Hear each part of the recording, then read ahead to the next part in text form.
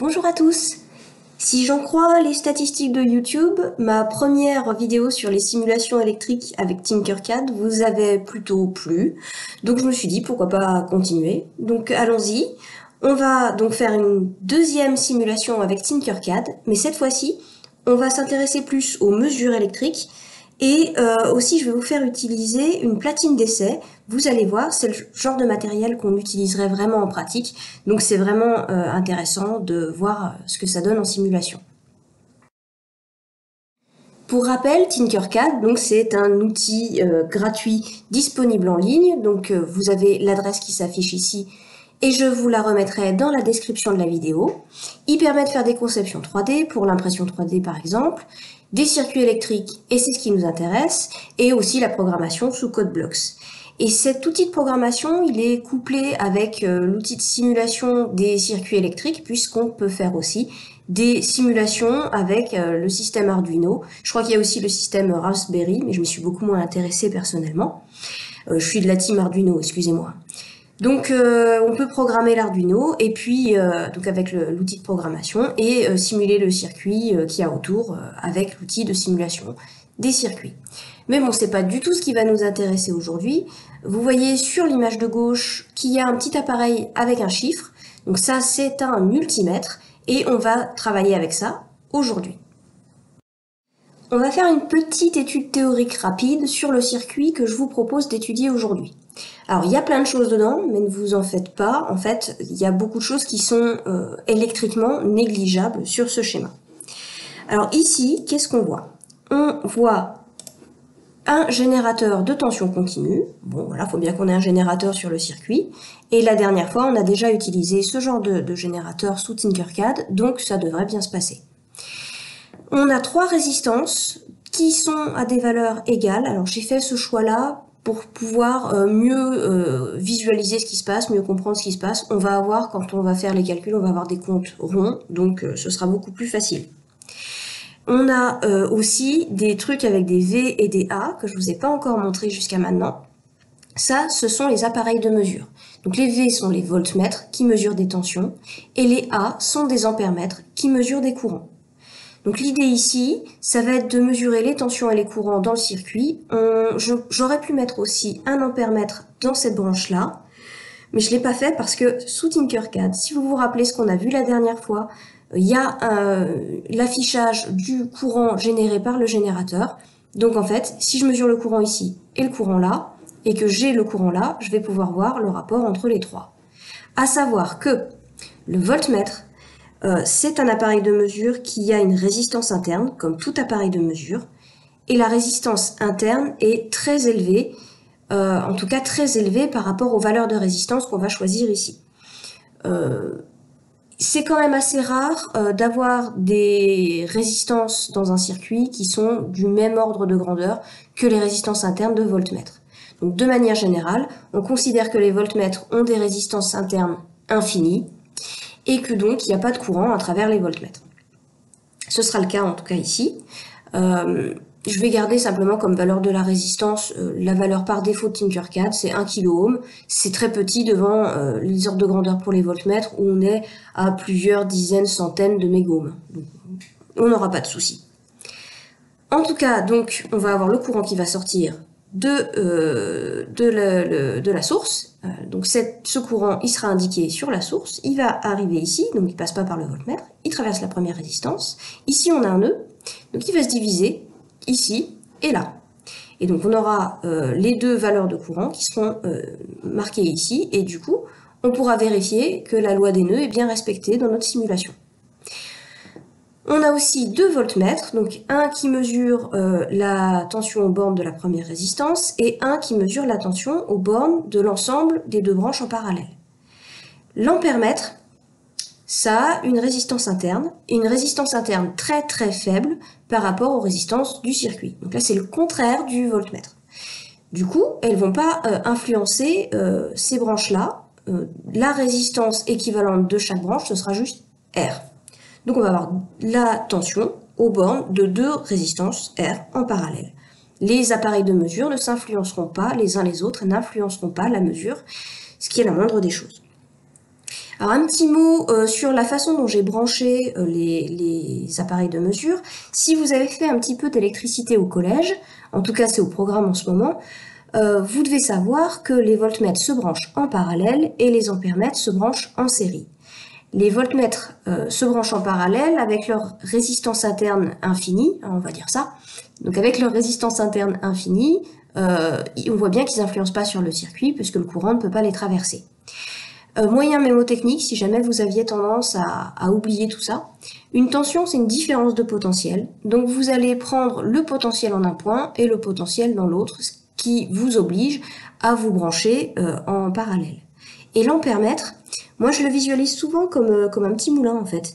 le moulin, vous lui faites passer de l'eau à travers et ça le fait tourner. Et, et en fait, plus il y a d'eau qui traverse, plus ça tourne vite.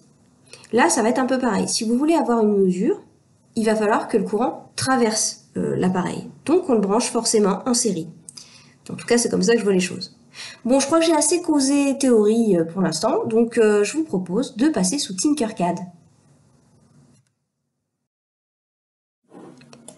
Nous voilà donc sous Tinkercad. Alors, on va commencer par prendre les composants dont on a besoin.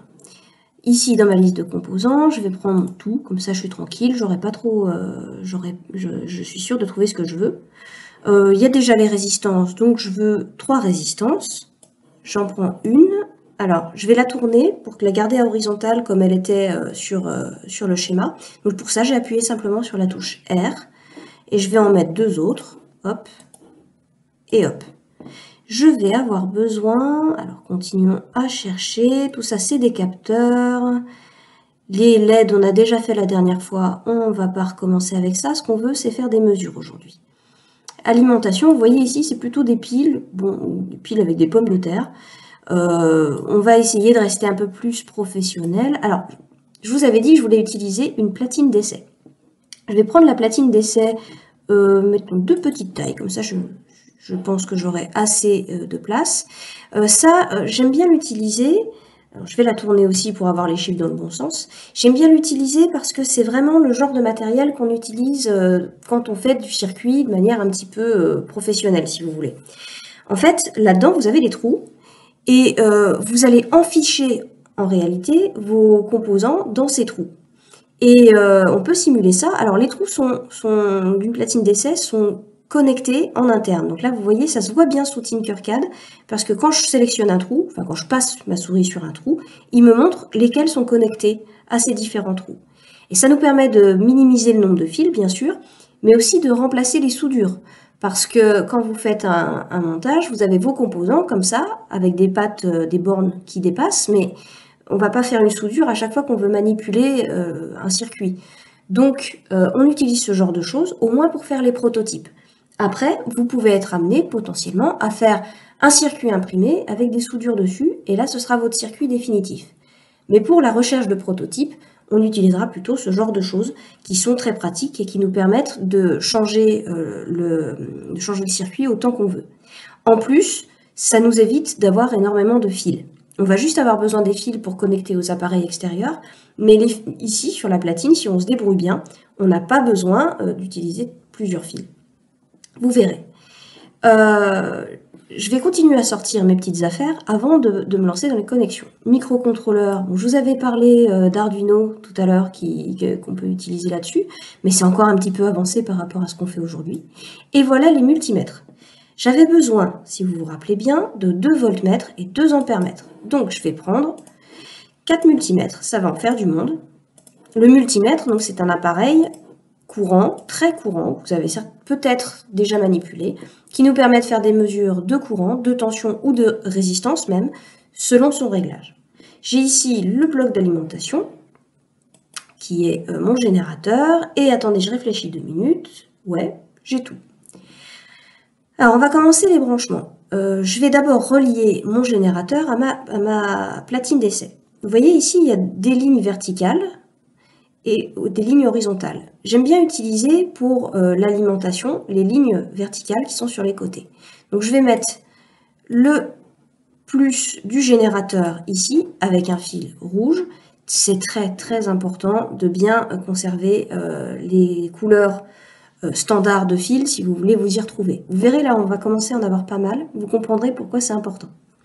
Ici, je vais mettre donc le négatif, donc qui sera en fait euh, physiquement la masse, avec un fil noir. J'ai croisé les fils, j'aime pas ça, c'est moche, mais j'ai pas trop le choix, vous voyez, je vois pas comment faire autrement ici. Ensuite, euh, ma première résistance, là, elle va être connectée entre le plus et le nœud, où se divisait le courant, si vous vous rappelez bien. Je vous propose de la mettre ici, voilà, tout simplement. Donc elle va relier euh, ici le point où on avait le potentiel euh, supérieur euh, à cette ligne-là. Donc notre nœud hein, principal sera sur cette ligne-là. Je vais rajouter les deux résistances. Donc celle-ci, regardez, je la rejoins entre le nœud principal et puis ce, ce point-là auquel on devra brancher l'ampèremètre. La deuxième résistance, je vais la mettre...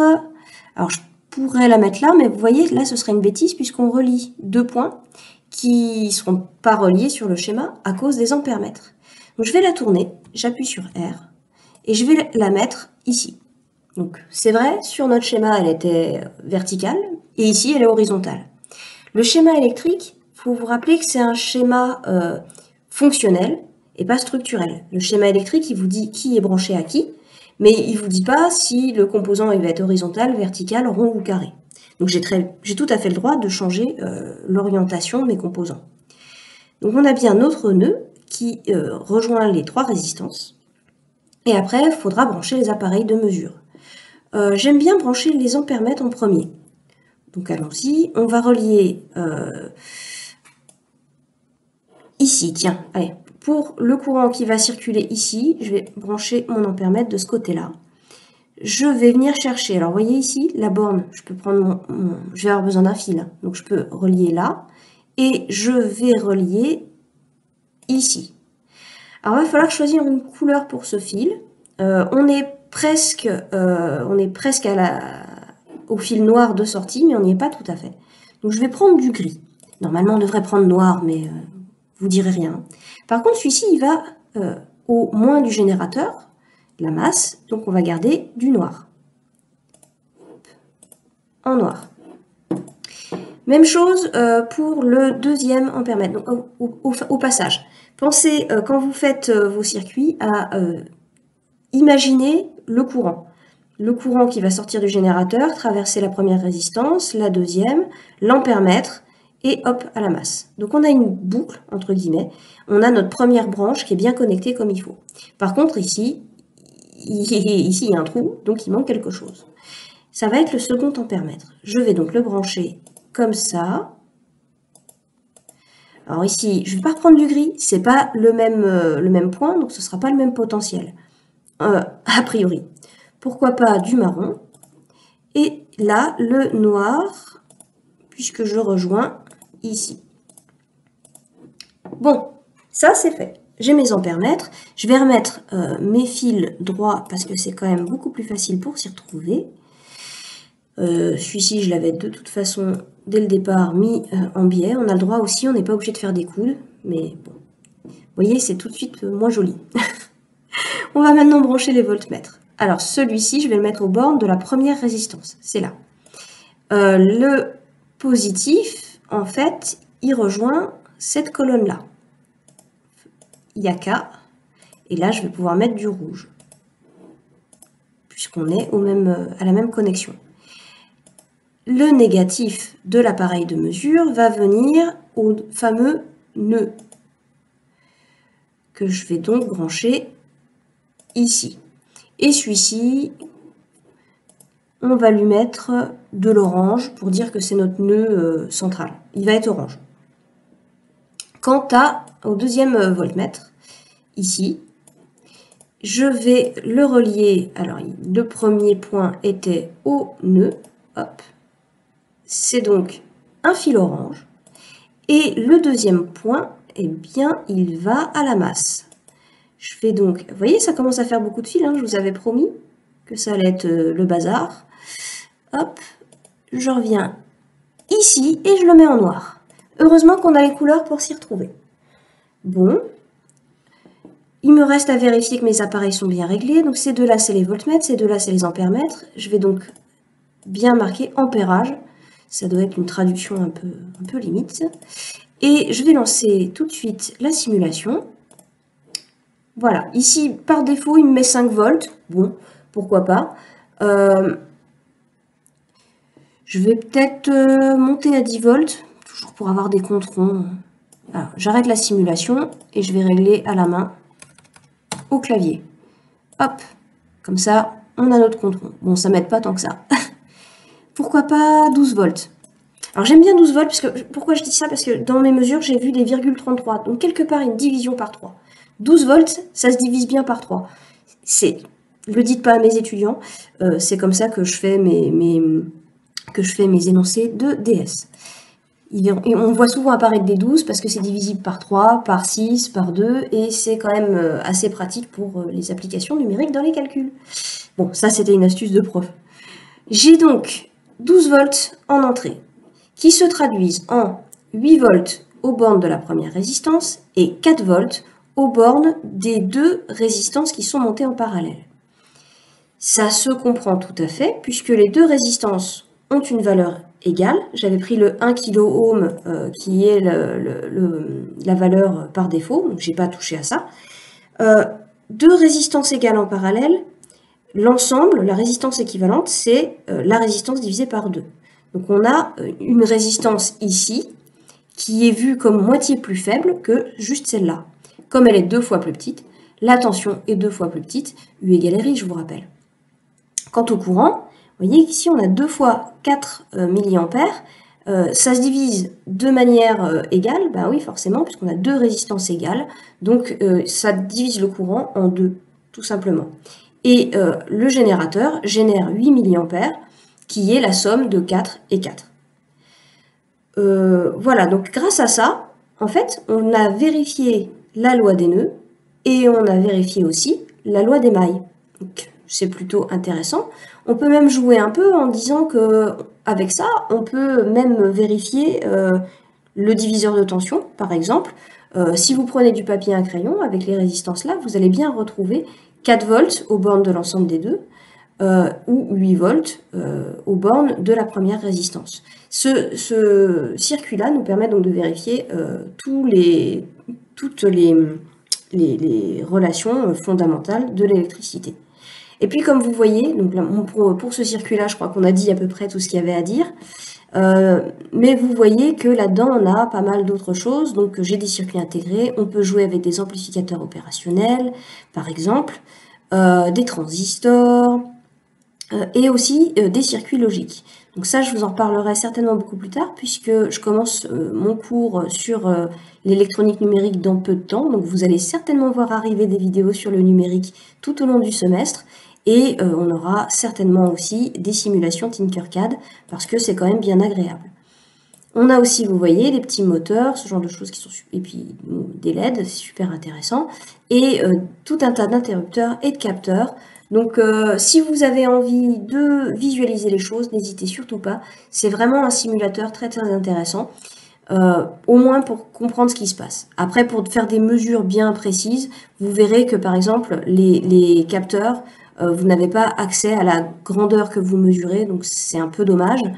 Euh, et puis, de la même manière, l'oscilloscope ici, il, est, il manque beaucoup de paramètres pour que ce soit vraiment intéressant. Donc c'est quand même assez limité. Et, donc pour, c'est pratique pour le, continu, mais pour l'alternative, c'est pas génial. Mais euh, voilà, pour le numérique et pour, euh, pour euh, l'informatique industrielle, c'est-à-dire la programmation microcontrôleur, il y a des choses intéressantes. Donc on y reviendra sans doute plus tard. Merci de m'avoir suivi. J'ai été un peu bavarde aujourd'hui, je suis désolée. Et je vous dis à bientôt pour bah, le début du cours sur l'électronique numérique. Au revoir